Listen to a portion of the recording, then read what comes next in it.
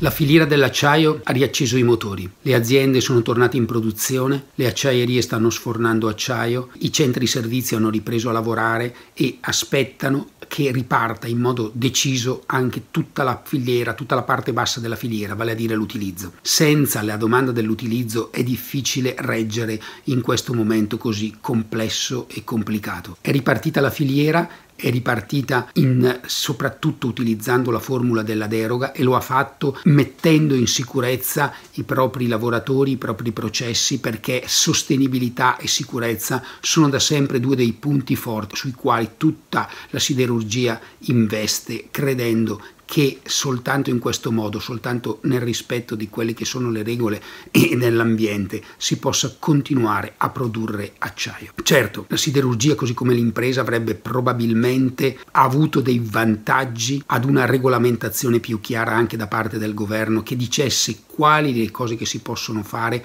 quando si possono fare e fino a che punto ci si può spingere. Così non è stato. Dal governo però la siderurgia e l'impresa italiana si aspettano adesso degli atti concreti. Dopo i molti annunci si aspettano che la burocrazia alleggerisca tutti i passaggi che portano, che riescono a trasferire liquidità nelle casse delle aziende, la cassa integrazione nelle tasche dei lavoratori.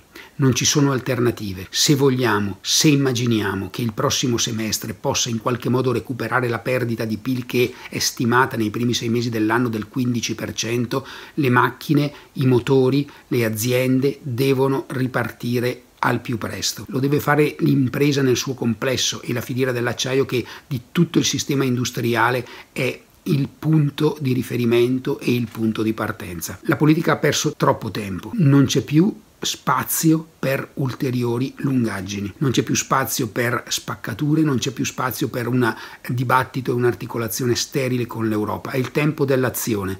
Lo chiede il nuovo presidente di Confindustria, lo chiede il presidente di Federacciai Alessandro Banzato, lo chiedono i tanti imprenditori che arrivano e che fanno sentire la loro voce attraverso Siderweb. Siderweb, la community dell'acciaio, raccoglie queste voci, le rilancia ed è vicina a tutti i propri componenti con l'informazione e soprattutto in questa fase anche con i nostri webinar, webinar su, nei quali discutiamo e cerchiamo di capire dove stiamo andando. Nel prossimo avremo Gianni Venturi, segretario della FIOM e titolare di tutta la partita siderurgica e il presidente di Confindustria Brescia e del gruppo Feralpi Giuseppe Pasini. Con loro ragioneremo come dalla fabbrica al mercato il nuovo paradigma è cambiato e come si può ragionare, come si può capire se insieme si possono fare dei passi per accelerare la ripresa e per tracciare insieme le linee di un nuovo futuro.